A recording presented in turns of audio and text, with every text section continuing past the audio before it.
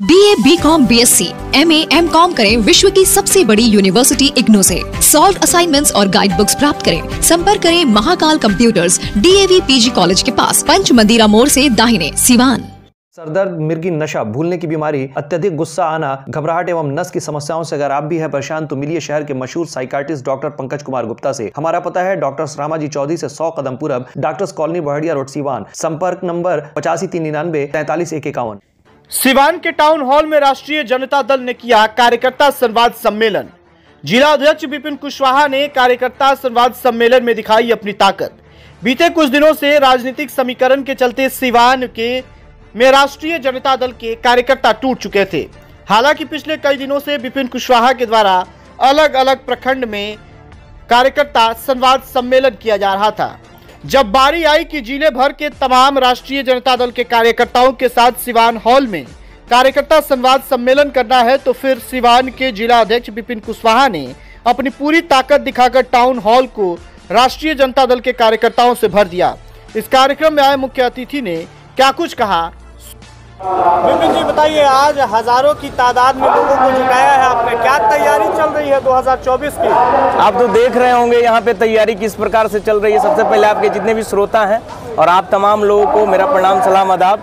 यहाँ पे आप देख रहे हैं कि जितने लोग अंदर हैं, उतने लोग बाहर हैं। इस टाउन हॉल बहुत छोटा पड़ गया। हम बहुत परेशान थे कि क्या पता कैसे होगा। मेरे प्रथम अध्यक्षता में प्रोग्राम हो रहा है, कैसे होगा? और यहाँ पे जितने लोग अंदर हैं, उससे कहीं ज़्यादा लोग बाहर हैं। हम लोगों की तैयारी बिल्कुल चल रही है। इंडिया महागठबंधन की तैयारी एकदम ग्रास रूट पे चल रही है। इसकी हम लोग तैयारी में लगे हुए हैं। तमाम कार्यकर्ता लोग लगे हुए हैं। आज मंत्री जी भी आए हुए हैं। जी। उनका उद्देश्य क्या रहा? कार्यकर्ता संवाद सम्मेलन है हम लोगों का। ये पूरे बिहार में चल रहा है। हमारे जो भी माननीय लोग हैं हम लोग अभी क्या है कि हमारा बिहार सरकार क्या कार्य कर रही है वो हम लोगों की चर्चा नहीं हो रही है मीडिया में। जो बड़े बड़े मीडिया हैं वो चर्चा नहीं कर रहे हैं। या बहुत प्रकार की दिक्कतें बहुत प्रकार की ये चीज़ हम लोग सह रहे हैं इसमें।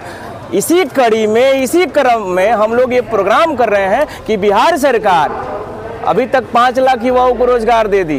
बिहार सरकार शिक्षा पे काम कर रही है। बिहार सरकार स्वास्थ्य पे काम कर रही है। यानी कि जो शिक्षा, स्वास्थ्य, बेरोजगारी, सिंचाई होता है, उन तमाम मुद्दों पे जो जनता का मुद्दा होता है, बिहार सरकार काम कर रही है, सर। जी, आप पाँच लाख नौकरी की बात कर रहे हैं। आपके डिप्टी सीएम है तेजस्वी यादव तो कह रहे हैं दस लाख हम कर दिए। नहीं दस अब अब क्या- पता कहाँ से उन्होंने घोषणा किया था कि जब हम हमारी सत्ता में हम आएँगे तो दस लाख युवाओं को रोज़गार देंगे। आधा हो चुका है आधा फिर तुरंत हो जाएगा। होने के बाद आप चुनाव हैं क्या कुछ कहेंगे तो अब खेल विभाग तो पहले से भी मेरे पास ही था और उसमें अच्छे से काम चल रहा था लेकिन माननीय मुख्यमंत्री नीतीश कुमार जी और माननीय उप मुख्यमंत्री तेजस्वी जी का। खेल पर बहुत फोकस है, इसलिए इसको अलग डिपार्टमेंट बनाया गया है और हमको पुनः जिम्मेवारी दी गई है तो इसके लिए तो मैं दोनों आदमी के प्रति आभार व्यक्त करता हूँ। और जहाँ तक बात है खेल को बढ़ाने का, उस पर हम लोग काम कर रहे हैं और हम लोग का प्रयास रहेगा कि जो हमारे गाँव में प्रतिभावान खिलाड़ी हैं, उनको मुख्य धारा में लाए, इस पर हम लोग काम कर रहे हैं। सर अभी मुख्यमंत्री जी ने कहा कि मेडल लाओ इस पर भी कुछ पहल की जा रही है? आपको जानकारी के लिए मैं बता दूँ कि अभी तक इकहत्तर लोगों को हम लोग नौकरी दे चुके हैं, मेडल लाओ, नौकरी पाओ के अंतर्गत।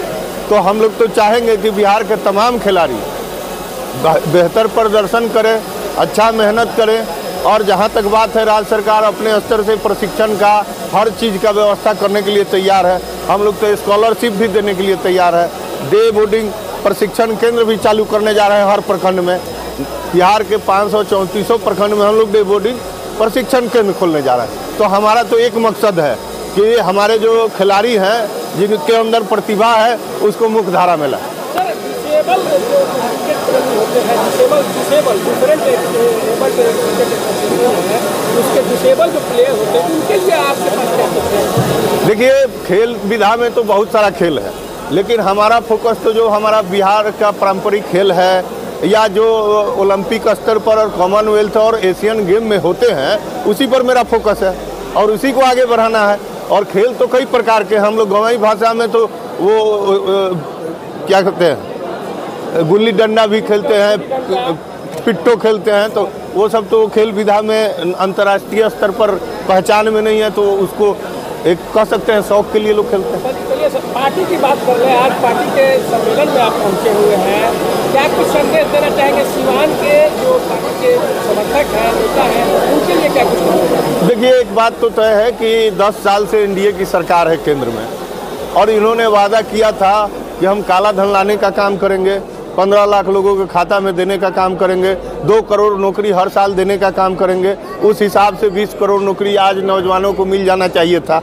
लेकिन देश के नौजवानों को भी ठगने का काम इन्होंने किया। महँगाई चरम पर है। आप गैस और पेट्रोल और सब कुछ का दाम आप प्रतिदिन देख ही रहे रोज़गार के नाम पर लोगों को ठगने का काम किया ही, किसानों को ठगने का काम किया। ये सब विषय तो आपके सामने है। रही बात महागठबंधन की जब से सरकार बनी, हम लोग के नेता तेजस्वी जी ने जो 2020 में वादा किया था कि हम तमाम कामों को करेंगे, उसको पूरी मुस्तैदी के साथ कर रहे हैं। आप देख रहे हैं कि हम लोग, हमारे नेता ने वादा किया था कि हम नौकरी देंगे तो उस पर काम चल ही रहा है। आप देख रहे हैं तालमी मरकज हो या विकास मित्र हो, आंगनबाड़ी हो या आशा की दीदी हो, सारे लोग से जो वादा किया गया था, उस पर काम किया जा रहा है। तो बिहार के विकास के लिए जो भी हो सकता है, महागठबंधन की सरकार काम कर रही है। हम लोग तो आए हैं अपने कर्जकर्ताओं को यही बताने कि हम लोग ने जो काम किया है उसको गांव-गांव तक आप पहुंचाइए कि लोग जाने कि हकीकत क्या है। जितेंद्र जी चुनाव लोकसभा चुनाव से पहले इस तरह का कार्यक्रम और हज़ारों लोगों की भीड़ क्या कहेंगे? निश्चित रूप से सरकार काम कर रही है पार्टी काम कर रही है तो लोग इकट्ठा होंगे ही ना। बाईस बाईस तारीख को अयोध्या में रामलला मंदिर आ रहा है। रामलला का मामला जरा बिहार में यूपी में राम जी आ रहे हैं और बिहार हलचल में है ऐसा क्या? आपको दिख रहा होगा हमको तो कहीं हलचल नहीं दिख रहा है।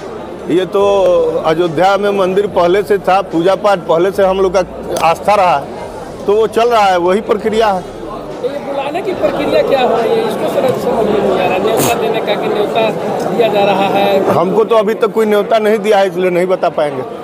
आप जा रहे हैं कि नहीं जा रहे अभी न्योता अब न्योता से जाना है उस दिन तब तो आएगा तभी जाएँगे ना।